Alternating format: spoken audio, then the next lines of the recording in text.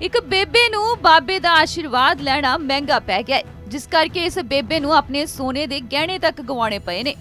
ਦਰਅਸਲ ਇਸ ਰਾਹ ਜਾਂਦੀ ਬੇਬੇ ਨੂੰ ਇੱਕ ਔਰਤ ਮਿਲਦੀ ਹੈ, ਜੋ ਆਪਣੀਆਂ ਗੱਲਾਂ 'ਚ ਲੈਂਦੀ ਹੈ ਅਤੇ ਇੱਕ ਬਾਬੇ ਦੀਆਂ ਤਾਰੀਫਾਂ ਕਰਦੀ ਹੈ। ਬੇਬੇ ਵੀ ਉਸ ਦੀਆਂ ਗੱਲਾਂ 'ਚ ਆ ਜਾਂਦੀ ਹੈ ਤੇ ਇਸੇ ਦੌਰਾਨ ਜਦੋਂ ਇਹ ਇੱਕ ਦੁਕਾਨ ਦੇ ਬਾਹਰ ਬੈਠੀਆਂ ਗੱਲਾਂ ਕਰ ਰਹੀਆਂ ਹੁੰਦੀਆਂ ਨੇ ਤੇ ਸਾਹਮਣੇ ਉਹ ਬਾਬਾ ਵੀ ਆ ਜਾਂਦਾ ਹੈ, ਜੋ ਉਹਨਾਂ ਨੂੰ ਆਸ਼ੀਰਵਾਦ ਦਿੰਦਾ ਹੈ ਤੇ ਫਿਰ ਇਹ ਔਰਤ ਕਹਿੰਦੀ ਹੈ ਕਿ ਇਸ ਬਾਬੇ ਦਾ ਆਸ਼ੀਰਵਾਦ ਲੈਣਾ ਬੜਾ ਹੀ ਵਧੀਆ ਹੈ।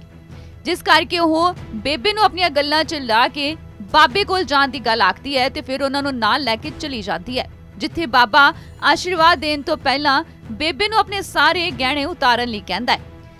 ਬੇਬੇ ਗਹਿਣੇ ਉਤਾਰ ਕੇ ਚੁੰਨੀ 'ਚ ਰੱਖ ਲੈਂਦੀ ਹੈ ਤੇ ਇਸੇ ਵਿਚਾਲੇ ਹੀ ਇਸ ਸਾਥੀਆਂ ਦੇ ਨਾਲ ਗਹਿਣੇ ਲੈ ਕੇ ਉੱਥੋਂ ਫਰਾਰ ਹੋ ਜਾਂਦਾ ਹੈ ਤੇ ਬੇਬੇ ਸਿਰਫ ਰੌਲਾ ਪਾਉਂਦੀ ਰਹਿ ਜਾਂਦੀ ਹੈ। ਮਾਮਲਾ ਫਿਰੋਜ਼ਪੁਰ ਤੋਂ ਸਾਹਮਣੇ ਆਇਆ ਹੈ, ਜਿੱਥੇ ਫਿਰੋਜ਼ਪੁਰ ਦੇ ਵਿੱਚ ਇੱਕ ਰਾਹ ਜਾਂਦੀ ਬੇਬੇ ਨੂੰ ਇੱਕ ਔਰਤ ਮਿਲਦੀ ਹੈ ਗੱਲਾਂ ਚ ਲੈਂਦੀ ਹੈ, ਇੱਕ ਠੱਗ ਬਾਬੇ ਦੀਆਂ ਤਾਰੀਫਾਂ ਕਰਦੀ ਹੈ ਤੇ ਬੇਬੇ ਨੂੰ ਕਹਿੰਦੀ ਹੈ ਕਿ ਬਾਬੇ ਦਾ ਆਸ਼ੀਰਵਾਦ ਲੈਣ ਚਲੀਏ। ਸੀਸੀਟੀਵੀ ਤਸਵੀਰਾਂ ਦੇ ਵਿੱਚ ਵੀ ਨਜ਼ਰ ਆਇਆ ਹੈ ਕਿ ਔਰਤ ਇਸ ਬੇਬੇ ਦੇ ਨਾਲ ਬਹਿ ਕੇ ਕਾਫੀ ਦੇਰ ਤੱਕ ਗੱਲਾਂ ਕਰਦੀ ਹੈ ਤੇ ਫਿਰ ਸਾਹਮਣੇੋਂ ਇੱਕ ਬਾਬਾ ਆਂਦਾ ਹੈ ਤੇ ਦੋਵੇਂ ਹੀ ਉਸ ਦਾ ਆਸ਼ੀਰਵਾਦ ਲੈਣ ਲੱਗ ਜਾਂਦੇ ਨੇ ਤੇ ਫਿਰ ਉਸੇ ਬਾਬੇ ਦੇ ਪਿੱਛੇ ਪਿੱਛੇ ਚਲੇ ਜਾਂਦੇ ਨੇ, ਜਿੱਥੇ ਬਾਬਾ ਵੀ ਆਸ਼ੀਰਵਾਦ ਦੇਣ ਦੀ ਗੱਲ ਆਖਦਾ ਹੈ ਤੇ ਫਿਰ ਸੋਨੇ ਦੇ ਗਹਿਣੇ ਉਤਰਵਾ ਲੈਂਦਾ ਹੈ ਤੇ ਲੈ ਕੇ ਫਰਾਰ ਹੋ ਜਾਂਦਾ ਹੈ। ਬੇਬੇ ਗਲੀ ਦੇ ਵਿੱਚ ਰੋਲਾ ਪਾਉਂਦੀ ਰਹਿ ਜਾਂਦੀ ਹੈ, ਪਰ ਉਦੋਂ ਤੱਕ ਲੁਟੇਰੇ ਬਹੁਤ ਦੂਰ ਜਾ ਚੁੱਕੇ ਹੁੰਦੇ ਨੇ। ਫਿਲਹਾਲ ਪੁਲਿਸ ਨੂੰ ਸ਼ਿਕਾਇਤ ਦਿੱਤੀ ਗਈ ਹੈ ਤੇ ਪੁਲਿਸ ਦਾ ਕਹਿਣਾ ਹੈ ਕਿ ਸੀਸੀਟੀਵੀ ਫੁਟੇਜ ਦੇ ਆਧਾਰ ਤੇ ਇਸ ਝੋਲਾ ਚੱਕ ਬਾਬੇ ਦੀ ਤਲਾਸ਼ ਕੀਤੀ ਜਾ ਰਹੀ ਹੈ ਤੇ ਜਲਦ ਹੀ ਇਹਨਾਂ ਠੱਗਾਂ ਨੂੰ ਫੜ ਲਿਆ ਜਾਏਗਾ। ਪਰ ਇਥੇ ਨਾਲ ਹੀ ਲੋਕਾਂ ਨੂੰ ਅਪੀਲ ਕੀਤੀ ਜਾ ਰਹੀ ਹੈ ਕਿ ਜਿਹੇ ਬਾਬਿਆਂ ਦੇ ਚੱਕਰਾਂ 'ਚ ਨਾ ਪੈਣ। ਇਦਾਂ ਦੇ ਠੱਗ ਬਾਬੇ ਗਲੀ ਗਲੀ ਘੁੰਮਦੇ ਨੇ, ਜਿਨ੍ਹਾਂ ਤੋਂ ਸਾਵਧਾਨ ਰਹਿਣ ਦੀ ਜ਼ਰੂਰਤ ਹੈ। ਉਹ ਇੱਕ ਲੇਡੀ ਆਈ ਹੈ, ਮੈਨੂੰ ਕਹਿੰਦੀ ਹੈ ਵੀ ਪਹਿਲੇ ਇੱਕ ਬੰਦਾ ਆਇਆ, ਉਹ ਕਹਿੰਦਾ ਖੇਤਰਪਾਲ ਦਾ ਕਿੱਥੇ ਖੇਤਰਪਾਲ ਕਿੱਥੇ ਹੈ, ਮੈਂ ਉਹਨੂੰ ਦੱਸਤਾ ਮੈਂ ਕਿਸੇ ਤੇ ਹੱਥ ਰਿਹਾ ਉਹਨੇ ਤੇ ਫਿਰ ਉਹ ਲੇਡੀ ਆ ਗਈ ਮੇਰੇ ਕੋਲ। ਕਹਿੰਦੀ ਬਾਬਾ ਬੜਾ ਪਹੁੰਚਿਆ ਆ। ਤੇ ਇਹ- ਇਹਨਾਂ ਦਾ ਆਸ਼ੀਰਵਾਦ ਲੈਣਾ ਚਾਹੀਦਾ। ਤੁਹਾਨੂੰ ਸਭ ਕੁਝ ਦੱਸਣੀ ਹੈ ਮੇਰੇ ਕੋਲ ਬੈਠੋ ਇੱਥੇ। ਉਹ ਗੱਲਾਂ ਮਾਰਨ ਲੱਗ ਪਈ ਇੱਧਰ ਉੱਧਰ ਦੀਆਂ ਤਰੀਫਾਂ ਕਰਨ ਲੱਗ ਪਈ ਹੁੰਦੀਆਂ। ਉਹਦੇ ਨੇ ਬਾਬਾ ਫੇਰ ਆ ਗਿਆ। ਬਾਬਾ ਕਹਿੰਦਾ ਉੱਥੇ ਤੁਹਾਨੂੰ ਆਸ਼ੀਰਵਾਦ ਦਿੰਦੇ ਆ। ਤੇ ਮੈਨੂੰ ਮੈਂ- ਮੈਨੂੰ ਕਹਿੰਦਾ ਆ ਚੀਜ਼ਾਂ ਲਾ ਦੇ ਇੱਕ ਵਾਰੀ। ਜੇ ਆਪਣੇ ਝੋਲੀ 'ਚ ਪਾ ਲਾ। ਤੇਰੇ ਕੋਲ ਹੀ ਰਹਿਣਗੇ ਮੈਂ ਅਹ, ਫੂਕ ਮਾਰਾਂਗਾ ਤੇ ਘਰ ਜਾ ਕੇ ਰੱਖਦੀ ਆ ਮੰਦਿਰ ਵਿੱਚ ਤੇ ਮੇਰੇ ਕੋਲ ਮੈਂ ਰੱਖਣੀ ਆ। ਕਹਿੰਦਾ ਤੁਹਾਡੇ ਕੋਲ ਹੀ ਰਹਿਣਗੇ ਮੈਂ ਨਹੀਂ ਲਵਾਂਗਾ। ਉਹਨੇ ਥੋੜੇ ਕਹਿੰਦਾ ਦੋ ਕੁ ਮਿੰਟ ਮੈਨੂੰ ਦੇਈ ਤੇ ਵੀ ਮੈਂ ਫੂਕ ਮਾਰਨੀ ਆ। ਉਹਨੇ ਚੇਂਜ ਕਰਕੇ ਭੱਜ ਗਿਆ ਬਸ ਖੋ ਕੇ ਭੱਜ ਗਿਆ ਮੇਰੇ ਕੋਲੋਂ। ਪਹਿਲੇ ਕੌਣ ਆਂਦੀ ਹੈਗੀ ਆ? ਲੇਡੀ ਆਂਦੀ ਹੈ? ਲੇਡੀ ਆਂਦੀ ਆ। ਅੱਛਾ ਫਿਰ ਤੁਹਾਡੇ ਨਾਲ ਗੱਲਾਂ ਮਾਰਨ ਲੱਗ ਗੱਲਾਂ ਮਾਰ ਲਾਪੀ ਤਰੀਫਾਂ ਕਰ ਲਾਪੀ ਬਾਬੇ ਦੀਆਂ। ਬਾਬਾ ਬੜਾ ਪਹੁੰਚਿਆ ਏ ਬਾਬੇ ਨੇ ਬਾਬਾ ਇਹ ਕਰਦਾ ਬਾਬਾ ਇਹ ਕਰਦਾ। ਤੇ ਮੈਂ ਫਿਰ? ਬਾ- ਉਹਦੇ ਬਾਬਾ ਕਹਿੰਦੇ ਉਹ ਬਾਬਾ ਕਹਿੰਦੀ ਆਂਦੇ ਨਹੀਂ ਹੁੰਦੇ ਛੇਤੀ ਛੇਤੀ ਫਿਰ ਇਹ ਪਤਾ ਬਾਬੇ ਨਹੀਂ ਨੇ ਕਿਵੇਂ ਕੀ- ਦੱਸਾਂ ਫਿਰ ਬਾਬੇ ਨੇ ਕੀ ਕੀਤਾ? ਬਾਬੇ ਨੇ ਕਿ ਬਾਬੇ ਨੇ ਮੇਰੇ ਕੋਲ ਅਹ, ਕੰਨਾਂ ਤੇ ਕਹਿੰਦੇ ਤੂੰ ਆਦੇ ਕੋਲ ਜੇਬ 'ਚ ਰੱਖ ਲੈ ਆਪਣੇ ਲਾ ਕੇ ਚੂੜੀ ਵੀ ਤੇ ਉਹ ਵੀ ਰੱਖ ਲੈ। ਤੇ ਤੂੰ ਆਪ ਬਸ ਬ- ਬੰਨ ਕੇ ਐਵੇਂ ਬੰਨ ਕੇ ਕਰ ਪਾ ਕੇ ਨਾ ਜਾਈ ਘਰ ਐਵੇਂ ਚੱਲੀ ਜਾਈ। ਅੱਛਾ। ਫਿਰ ਮੈਂ ਖੋ ਕੇ ਲੈ ਕੇ ਚਲਾ ਗਿਆ ਅੱਛਾ। ਤੇ ਫਿਰ ਤੁਹਾਨੂੰ ਪਤਾ ਕਿਵੇਂ ਲੱਗਾ ਕਿ ਤੁਹਾਡੇ ਜੀਵਰ ਲੈ ਗਏ? ਆ? ਤੇ ਮੈਨੂੰ ਪਤਾ ਲੱਗਾ ਜਦੋਂ ਖਾਲੀ ਮੈਂ ਵੇਖਿਆ ਤਾਂ ਉਸੇ ਵੇਲੇ ਉਸ ਅਜੇ ਨਿਕਲੇ ਸੀਗਾ। ਮੈਂ ਕਿਹਾ ਮੇਰੇ ਸਾਰੇ ਸਮਾਨ ਲੈ ਗਿਆ। ਮੈਂ ਕਹਿੰਦੇ ਤਾਂ ਕੁਝ ਵੀ ਨਹੀਂ ਹੈਗਾ। ਖਾਲੀ ਖਾ- ਮੈਨੂੰ ਕਹਿੰਦਾ ਆਲਾ ਫੜੇ ਸਿਰ ਰੁਮਾਲ ਕਰ ਜਾ ਕੇ ਖੋਲੀ। ਉਹ ਉਹ- ਉਹ ਰੁਮਾਲ ਖਾਲੀ ਦੇ ਗਿਆ ਤੇ ਭਰਿਆ ਚੁੱਕ ਕੇ ਮੇਰੇ ਕੋਲ ਲੈ ਗਿਆ। ਕਿੰਨੇ ਜਾਣੇ ਹੈਗੇ ਸੀ ਤਿੰਨ ਜਣੇ ਸੀ ਜੀ।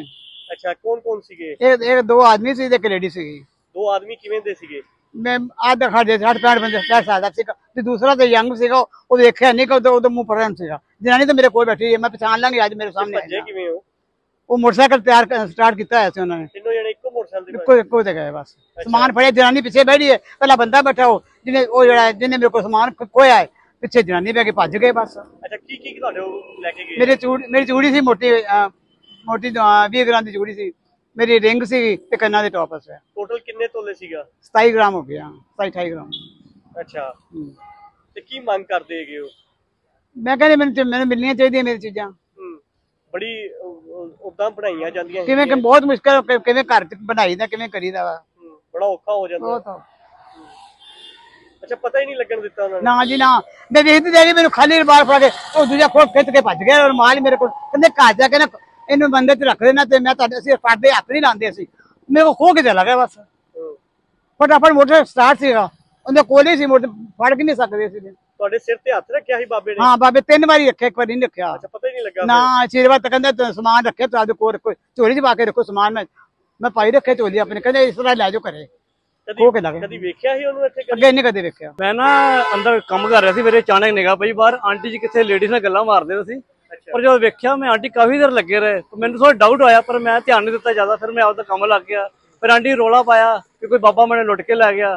ਫਿਰ ਆਂਟੀ ਪਹਿਲਾਂ 10 ਦਿਨ ਵੈਸੇ ਮੇਰੇ ਨਾਲ ਕੀ ਹੋਇਆ ਆਂਟੀ ਕਹਿੰਦੇ ਮੇਰੇ ਪੈਸੇ ਲੈ ਗਿਆ। ਮੈਂ ਕਿਹਾ ਆਂਟੀ ਵੀ ਤੁਸੀਂ ਦੱਸੋ ਹੋਇਆ ਕੀ ਹੈ ਫਿਰ ਦੱਸਿਆ ਕਹਿੰਦੇ ਮੇਰੇ ਚੂੜੀਆਂ ਲੈ ਗਿਆ ਮੇਰੀ ਵਲ- ਵਾਲੀਆਂ ਲੈ ਗਿਆ ਤੇ ਮੇਰੀ ਮੁੰਦਰੀਆ ਲੈ ਗਿਆ।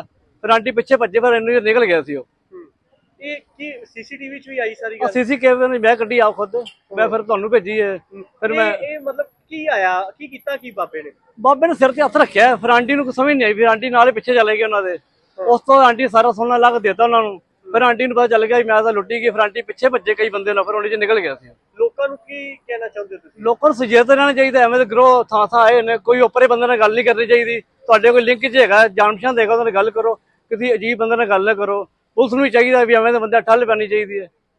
ਕੀ ਨਾਮ ਹੈ ਤੁਹਾਡਾ ਪੂਰਾ? ਮੇਰਾ ਰਾਜੂ ਜੀ। ਤੇ ਇੱਕ ਹੱਥਾਂ ਦੇ ਚੂੜੀਆਂ ਲੱਗ ਲੈ ਕੇ ਕਹਿੰਦੇ ਇੱਕ ਕੰਨਾਂ ਦੀਆਂ ਤੇ ਇੱਕ ਪਤਾ ਨਹੀਂ ਰਿੰਗੇ। ਅੱਛਾ ਹਾਂਜੀ। ਕਿਵੇਂ ਦੇ ਸੀ ਬੰਦੇ? ਇੱਕ ਸਰਦਾਰ ਸੀ ਭਾਰਾ ਆ ਹੂੰ। ਤੇ ਇੱਕ ਬਾਬਾ ਸੀ ਤੇ ਇੱਕ ਲੇਡੀ ਸੀ। ਅੱਛਾ। ਤਿੰਨ ਜਣੇ ਸੀ। ਉਹਨਾਂ ਨੇ ਵਾਰਦਾਤ ਨੂੰ ਅੰਜਾਮ ਦਿੱਤਾ। ਹਾਂਜੀ। ਤਾਂ ਲੋਕਾਂ ਨੂੰ ਤੁਸੀਂ ਕੀ ਅਪੀਲ ਕਰਨਾ ਚਾਹੁੰਦੇ ਹੋ? ਅਸੀਂ ਕਹਿੰਦੇ ਵੀ ਆਦਾ ਤੰਦਰੁਸਤ ਵੀ ਸਹੀ ਕਰਕੇ ਰਹੋ ਆਦਾ ਕਿ ਅਣਜਾਣ ਬੰਦੇ ਨੂੰ ਨਹੀਂ ਮਿਲਣਾ ਚਾਹੀਦਾ? ਬਿਲਕੁਲ ਜੀ ਨਹੀਂ ਮਿਲਣਾ ਚਾਹੀਦਾ। ਹੂੰ। ਤਾਂ ਆਂਟੀ ਇੱਥੇ ਆਏ ਉਹ ਹਾਂਜੀ। ਕਿਵੇਂ ਹੋਇਆ ਕਿਵੇਂ? ਐਂਟੀ ਦੇ ਨਾਲ ਹੀ ਲਗੇ ਆਂਦੇ ਸੀ ਉਹ ਤੇ ਐਂਟੀ ਨੂੰ ਸਾਹਮਣੇ ਲੈ ਗਏ ਨੇ। ਹੂੰ। ਤੇ ਐਂਟੀ ਉਹ ਲੁੱਟ ਕੇ ਉਹ ਰੋਲਾ ਪਿਆ ਸੀ ਉਹਦਾ ਅਸੀਂ ਭੱਜ ਕੇ ਗਏ ਮਗਰ। ਹੂੰ, ਭੱਜ ਗਏ। ਭੱਜ ਗਏ ਜੀ।